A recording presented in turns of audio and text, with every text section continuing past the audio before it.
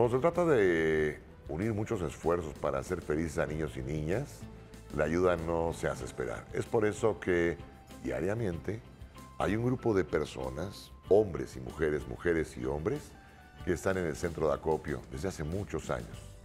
Desde hace muchos años tenemos esos aliados que nos dan una fortaleza impresionante. Manu Reyes la trae.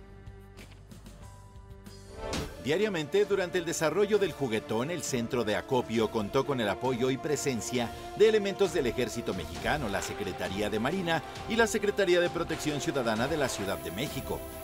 Cada uno de estos elementos cambiaron por unos días las armas y los recorridos por la República Mexicana y la Ciudad de México para ser parte del juguetón. Desde muy temprano las unidades arribaban a nuestro centro de acopio con los elementos. Ahí, todos ellos diariamente llevaban a cabo la selección de juguetes que llegaban a nuestras instalaciones, haciendo las bolsas de niño, niña, bebé y paquete juguetón. Sin importar la hora o lo pesado de la carga, cada tráiler, camión o camioneta que llegaban a nuestra carpa de nuestros diferentes aliados fueron descargados por estos elementos comprometidos con la causa seleccionaron, inflaron y empaquetaron cada pelota que llegó a las manos de nuestros pequeños en los diferentes rincones de nuestra República Mexicana el pasado 6 de enero. La entrega del paquete juguetón no hubiera sido posible sin el apoyo de ellos, donde cada artículo que lo conforma pasó por las manos del Ejército, la Marina y la Secretaría de Protección Ciudadana de la Ciudad de México. Su apoyo fue fundamental durante la carga de las unidades que partieron para las diferentes rutas que cubrieron la República Mexicana.